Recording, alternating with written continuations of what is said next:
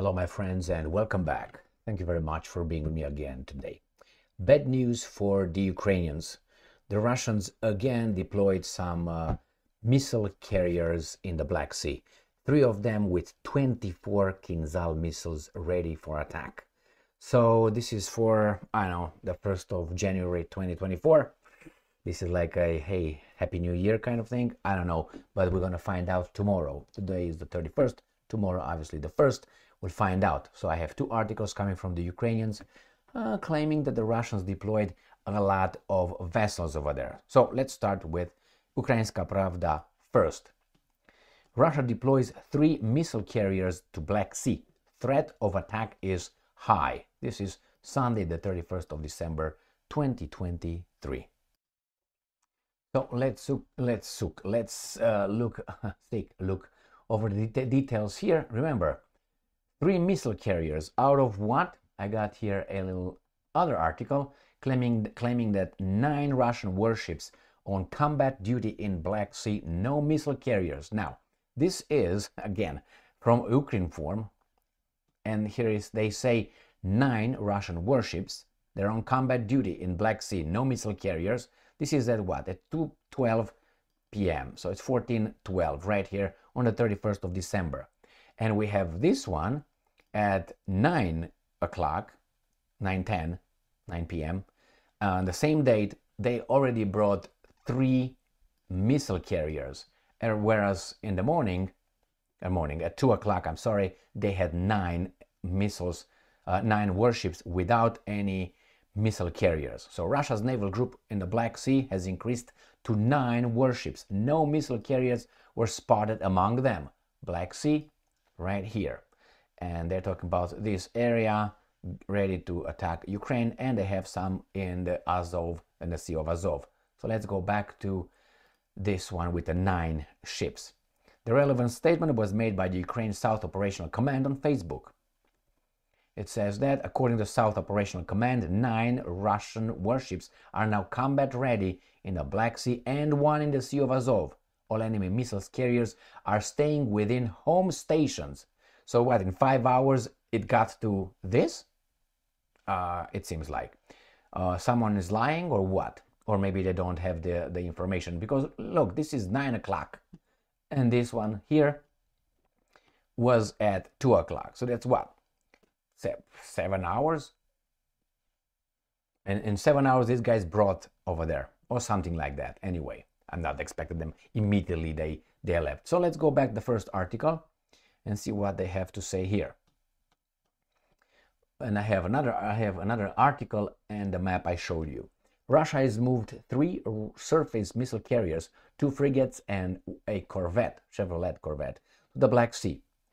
Oleg Kiper, head of the Odessa Oblast Military Administration, said on Telegram, the threat of a missile attack is extremely high, and I'm quoting. The enemy has put three surface so that's not no submarine, missile carriers on combat duty in the Black Sea, two frigates and a corvette. 24 Kalibr missiles in total are ready for launch. On the evening of the 31st of December, an air raid warning was issued throughout Ukraine after a MiG-31K fighter capable of carrying an aeroballistic Kinzhal missile took off in Russia. So these are uh, two articles out of three and a map. So let's go now and see the last article that I have here ready for you, which comes again from Ukrinform, the same ones who gave us the information at 2 o'clock. Now they give the information at 9 o'clock. So that everything was updated at 9 p.m. Uh, Ukraine time, I guess. Ready? Here it is.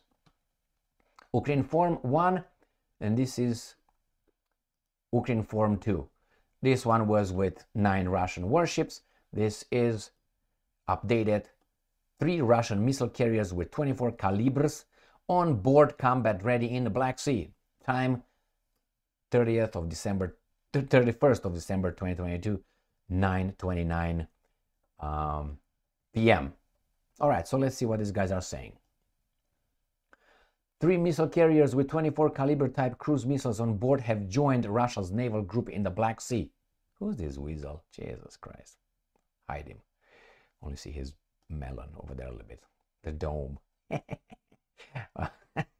All right, so three, three surface missile carriers, two frigates, and one small size ship, missile ship have entered combat duty in the Black Sea. A total of 24 Kalibr type missiles are ready to be launched. The report states the Southern Defense Forces warned that the threat of Russian missile strike is extremely high and urged Ukraine to pay attention. Palabap, zapazap. And now, a reminder that on the afternoon of the December 31st, 2023, nine, nine Russian warships were remaining in the Black Sea, but no missile carrier were spotted among them. So it's nine, nine plus three is 29.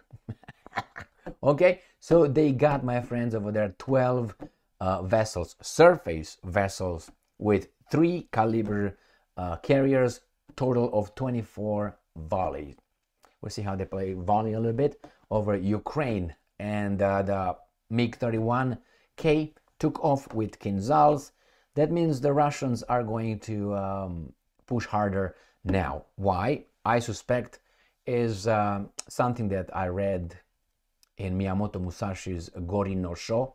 Gorin no Sho was one of, I think, two books that Miyamoto Musashi, the famous Japanese um, swordman, uh, wrote in, in 1640, I think it was, because he died in uh, 1645. He was born in uh, 1584. Uh, Anyway, Miyamoto Musashi. So he wrote this one at the end of his life, the one who never lost a, a fight.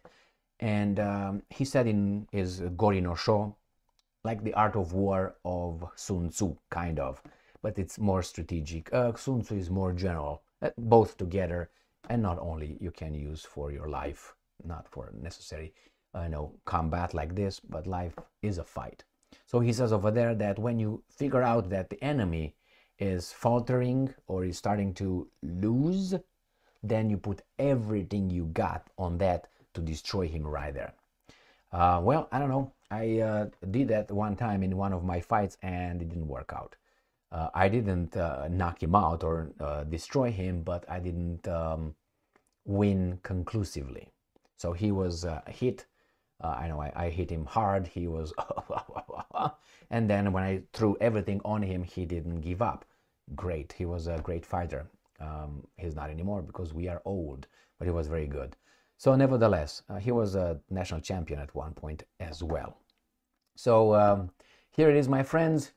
Maybe Russia right now feeling, smelling the blood, and they decide to throw more than before on the Ukrainians. We'll see if they're Ukrainians or not Ukrainians. NATO will uh, say timeout or not. I suspect they will not. Thank you very much for being with me again today. Stay strong, stay smart, look for the truth, and be just.